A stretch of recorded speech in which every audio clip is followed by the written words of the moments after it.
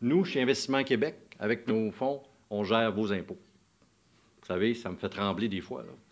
Parce qu'à la fin, c'est les miens et c'est les vôtres qu'on met dans nos mains pour faire du développement économique. C'est différentes formes, avec différents outils.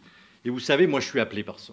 Vraiment. Donc, on veut faire de la business avec des, rendements qui nous appellent à long terme pour des, choix stratégiques qu'on doit faire pour l'économie du Québec.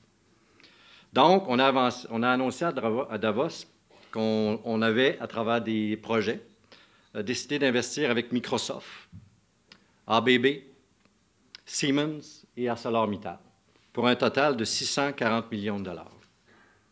Je vous, demande d'être prudent pour l'année prochaine. la barre est très haute et pas qu'on n'a pas déjà commencé à travailler sur des opportunités, mais la récolte dépend beaucoup de ce qu'on fait en amont et on a encore tout un réseau de projets qui nous attend. Ils ont choisi le Québec pour réinvestir, maintenir leur position. Pour quelles raisons? Bien, je vous dirais que c'est à cause des pôles d'excellence en innovation chez nous.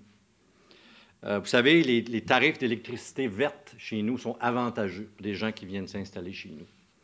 Ce n'est pas, pas difficile à vendre. Lorsqu'on parle aussi que le Québec a été choisi par Microsoft à cause de l'intelligence artificielle, qui devient euh, un, semblant de buzz de genre Silicon Valley euh, pour le monde ici au Québec, ben on a de quoi être fiers. Et ABB a choisi le Québec pour ses excellentes universités et toute la chair qui, s'y rattache et son créneau en transport électrique. Donc, voit les opportunités comme nous les voyons aussi. Ce sont des nouvelles réjouissantes. Le verre d'eau est à moitié plein.